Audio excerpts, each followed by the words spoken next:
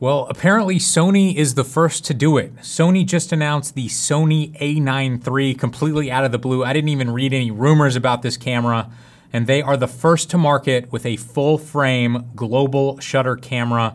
This is the biggest advancement in digital photography since we had the first digital camera that could shoot video probably. Let me explain how big of a deal this is. The way almost every digital camera works is it reads pixel by pixel, line by line to create an image on the sensor. Obviously it does this incredibly fast, but you can actually see this rolling shutter if you shoot video and you pan really quickly, you can see your videos start to go like this and the whole thing kind of becomes jello. To mitigate this with still photography as well as allow your camera to sync with a strobe, almost every camera up until this point had a physical shutter and you can set the shutter speed of your camera and it will physically change the amount of time that the shutter will open up, exposing light on your sensor. But now with the Sony a9 III, the camera has a global shutter, meaning that every single pixel is going to be exposed at the exact same moment. And for the first time ever, we're going to have flawless video without any rolling shutter artifacts at all. And more importantly, the camera no longer requires a physical shutter at all. We can now get perfect images and video from our sensor without any moving parts in the camera at all. This is the holy grail of digital photography features. And we've been saying when this feature comes, this is going to change photography and cameras forever because now you can make cameras that are smaller, faster, more reliable than ever before. Basically, this camera can shoot 120 frames per second of raw photos.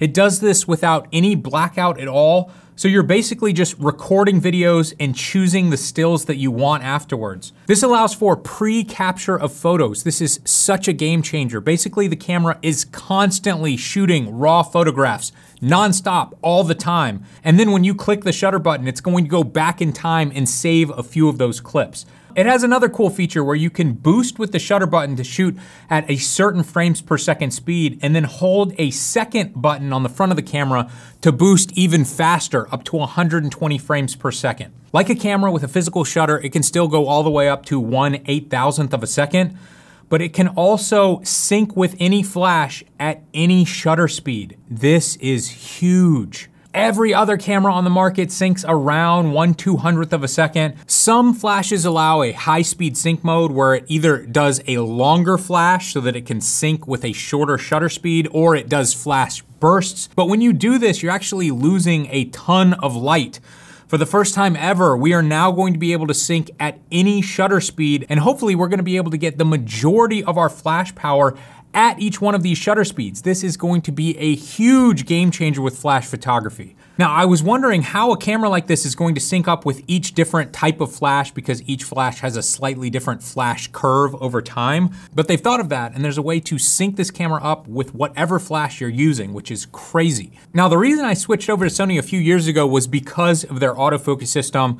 They've taken it to the next level with this camera. I don't even really know what a lot of this means and what it's capable of doing, but it's showing this one thing saying human pose estimation technology recognizes body and head. I don't really know what this means. Maybe this is saying that it can recognize a person and what they're about to do and it's going to plan ahead so that it can keep them in focus better than previous cameras. I don't know, but I'm excited to test it out. Now, I'm not a big animal photographer or videographer, but you'll be happy to know that the camera can also recognize animals of all kind and lock on to their weird shaped eyes. This is going to be a game changer for wildlife photographers as well. Like other Sony cameras, it has in-body stabilization, and this is claiming an eight stop advantage, which is unbelievable. I feel like this is the best I've ever heard. I definitely need to test this feature out myself because for video especially, the in-body stabilization is a game changer. One of the slides has something very interesting here. It says composite raw shooting for reduced noise. And if you look at the bottom, it says the latest version of Imaging Edge Desktop. I hate that software, but we have to use it. The application is required for compositing. The lowest allowable shutter speed for composite raw shooting is 1 30th of a second. Now I've seen some other cameras that can do something like this with still subjects, like if you're shooting a product and your camera was on a tripod, you can composite multiple images together and get a super clean or super high res photo.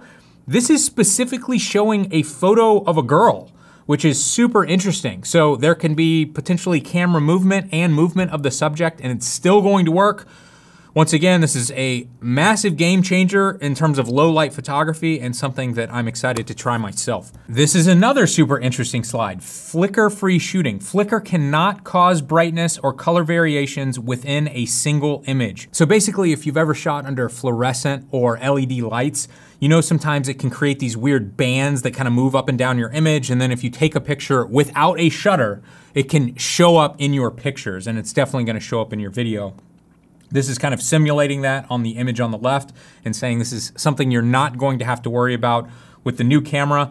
I would imagine that you're still going to have to worry about flicker between one shot to the next. But now with a global shutter, each individual frame will be totally clean. Now, as you know, I'm most excited about video, and this camera can shoot in 4K at 120 frames per second without cropping, I would expect that. Real-time recognition autofocus for movie using AI processing unit. Again, the autofocus has been so incredible on my other Sony cameras. It's almost difficult for me to imagine it being that much better, but uh, I'm excited to try this out. Here's another interesting one, focus breathing compensation. So a lot of times when you focus rack a lens with a super high-end lens, it's not going to zoom at all while you're doing that, but with cheaper lenses and sometimes with photography lenses, there's a little bit of zoom and it makes racking focus a little bit more jarring. It just makes it look cheaper. And so this camera says that it has focus breathing compensation. So if your lens has a focus breathing problem, maybe that's not an issue anymore.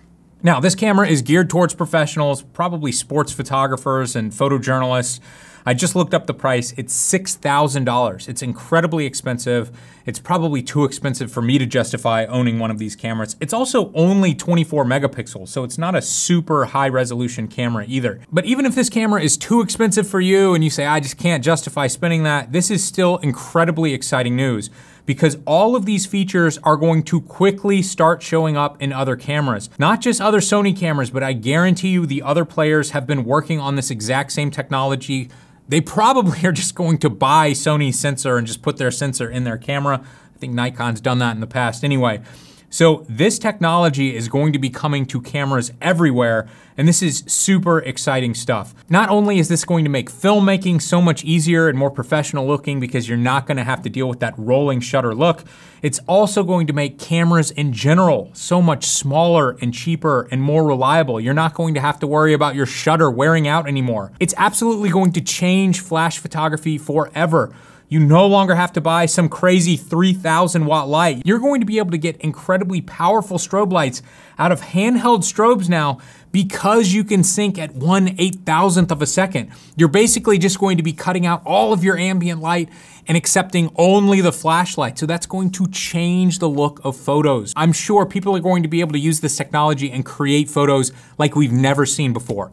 So I just quickly wanted to make this video and explain to you how big of a deal this camera is. We have literally been talking about this global shutter camera that's right around the corner and it's going to change everything for almost 10 years now. I can't believe it's taken this long. I've been hearing rumblings about Canon's working on it, Sony's working on it, it's coming out next year, and it never came out, it never came out. Well, here it is. This is a massive day for professional photographers and videographers everywhere, and I am so excited to get my hands on this camera and test it out for myself. Are you a photographer? Well, we're doing a huge portrait photography contest right now. The winner is actually going to get Tamron's updated version of their 70 to 180 millimeter 2.8 lens. This lens is absolutely incredible with my Sony cameras, but if you happen to shoot Nikon or Canon, you can choose that mount as well. Second place is going to get the world's most advanced Thunderbolt dock by Ivanky, and third place is going to win a free tutorial from the F-Stopper store. You can check out this contest at fstoppers.com slash contest right now.